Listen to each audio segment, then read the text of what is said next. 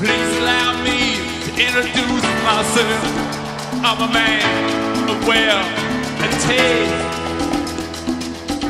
Been around for many long years, stole many man's souls and faith. I was round when Jesus Christ had his moments of doubt and pain.